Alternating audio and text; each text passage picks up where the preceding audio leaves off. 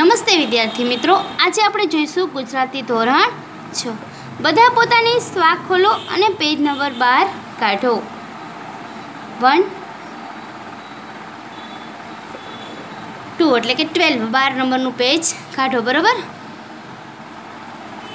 આપણે સુંદર મજાનું કાવ્ય જોયું હતું કે હિન્દ માતાને સંબોધન કરતું કાવ્ય હતું.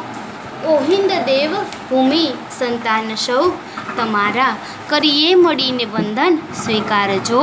અમારા, તો કે આપણા દેશમાં, આપણા રાજ્યમાં કયા કયા જ્ઞાતિના લોકો વસે છે અને કયો કયો ધર્મ પાળે છે?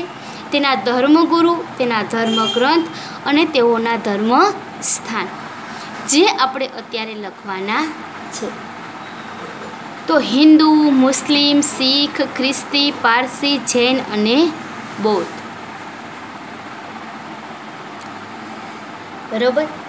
તો હિન્દુ લોકો છે, તે પોતે ક્યાં દર્શન કરવા માટે જાય છે? તો કે મંદિરમાં જાય છે. મંદિરમાં જાય છે ને? હા. ત્યાર પછી મુસ્લિમ લોકો છે એ? તો કે નમાઝ પઢવા માટે. પોતે નમાઝ પઢવા માટે. એ લોકોનું જે મંદિર હોય છે, ત્યાં જાય છે ને? નમાઝ પઢવા માટે. તે મસ્જિદમાં જાય છે. ત્યાર પછી શીખ લોકો છે એ ક્યાં જાય છે? તો કે ગુરુદ્વારામાં જાય છે. ક્યાં જાય છે?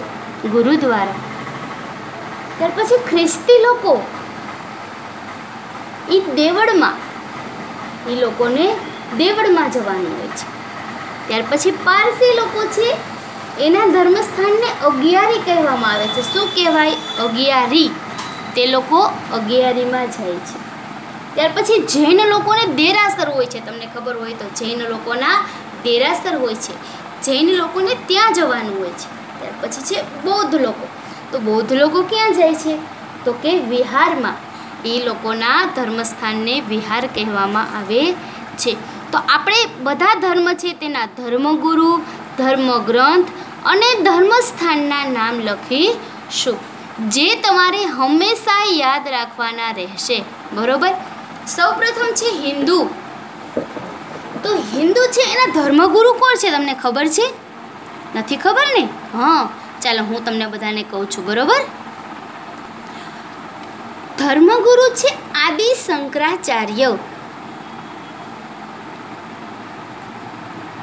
આદિ શંકરાચાર્ય. હવે ધર્મગ્રંથ કયો છે? તો કે રામાયણ. આપણો ધર્મગ્રંથ કયો છે? રામાયણ અને મહાભારત. બરોબર? રામાયણ અને મહાભારત. હવે ધર્મસ્થાન કયું છે? તો કે મંદિર. આપણે બધા ક્યાં જઈએ છીએ? તો કે મંદિરે. મંદિરે જઈએ છીએ ને? હા. ધર્મગુરુ આદિ શંકરાચાર્ય, ધર્મગ્રંથ રામાયણ અને મહાભારત અને ધર્મસ્થાન. મહાભારત એટલે કે ગીતા. ભગવત ગીતા આવે છે ને? રામાયણ અને ભગવત ગીતા.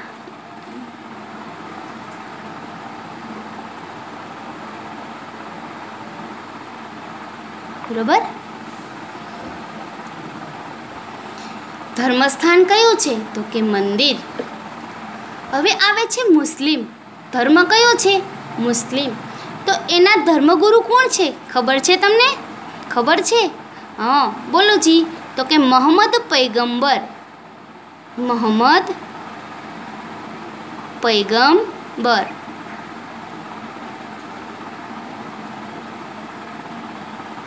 મોહમ્મદ પૈગંબર. હવે એ લોકોનો ધર્મ ગ્રંથ કયો છે? તો કે કુરાને શરીફ. ધર્મગ્રંથ છે કુરાને શરીફ. ત્યાર પછી ધર્મસ્થાન, તો કે મસ્જિદ.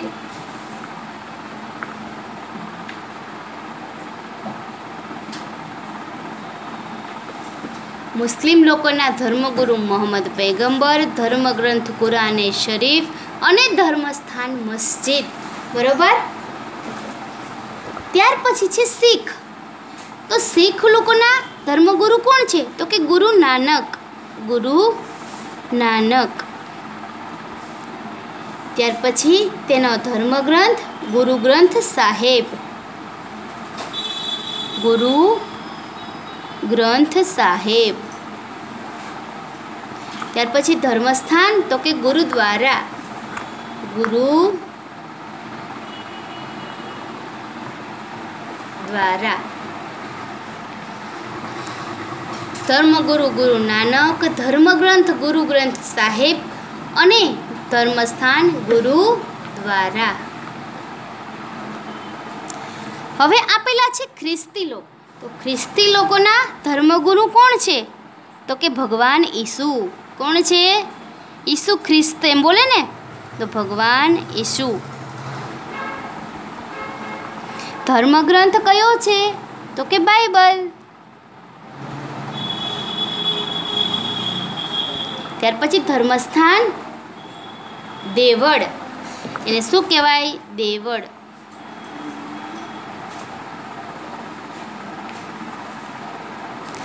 ધર્મગુરુ ભગવાન ઈશુ ધર્મગ્રંથ બાઇબલ અને ધર્મસ્થાન દેવળ. ત્યાર પછી છે પારસી. તો પારસીના ધર્મગુરુ કોણ છે? તો કે અસો જરથૃષ્ઠ. અશો જરથુષ્ટ્ર અશો જરથુષ્ટ્ર એના ધર્મગુરુનું નામ છે. ત્યાર પછી એનો ધર્મગ્રંથ કયો છે? તો કે અવેસ્તા.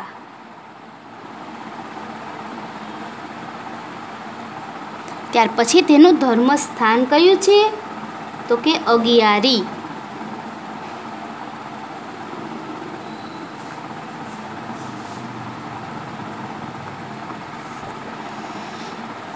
ત્યાર પછી છે જૈન.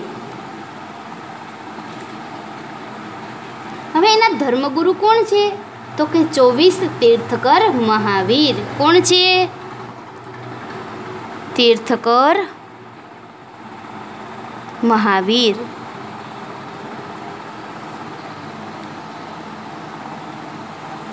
હવે એનો ધર્મગ્રંથ કયો છે? તો કે આગા મે. ધર્મસ્થાન કયું છે? તો કે દેરાસર.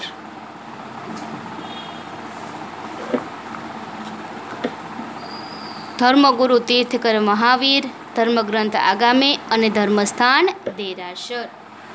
ત્યાર પછી છે બૌદ્ધ. તો બૌદ્ધના ધર્મગુરુ ભગવાન બુદ્ધ. ભગવાન બુદ્ધ.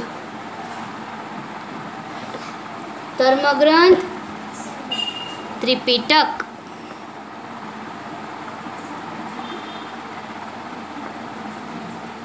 અને ધર્મસ્થાન વિહાર. ધર્મસ્થાન કયું છે? તો કે વિહાર.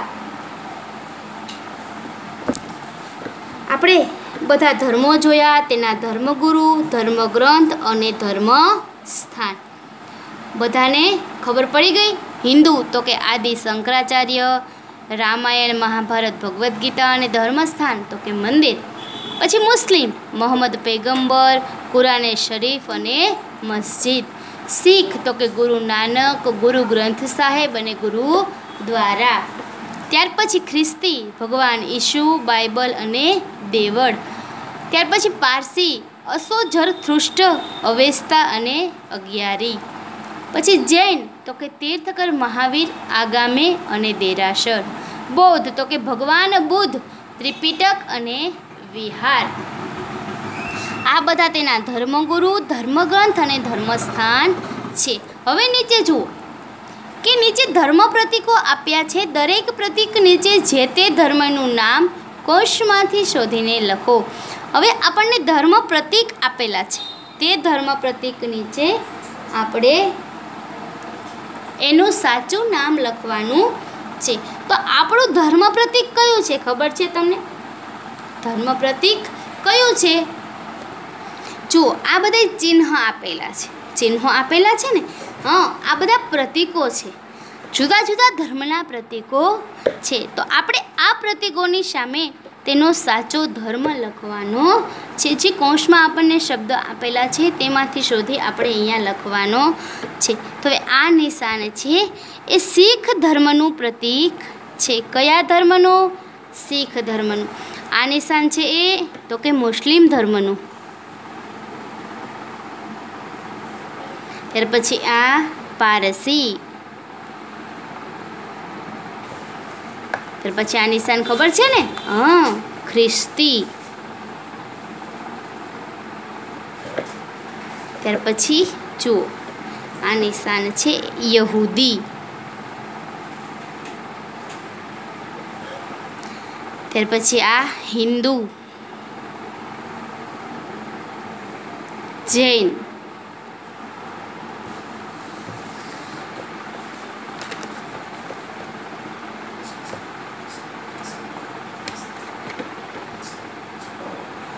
જૈન ત્યાર પછી આ નિશાન છે બૌદ્ધ. બરાબર? કૌંસમાંથી આપણે શોધી અને આ સાચા ચિહ્નની સામે તેના સાચા ધર્મ લખવાના હતા. લખાઈ ગયું બધાને?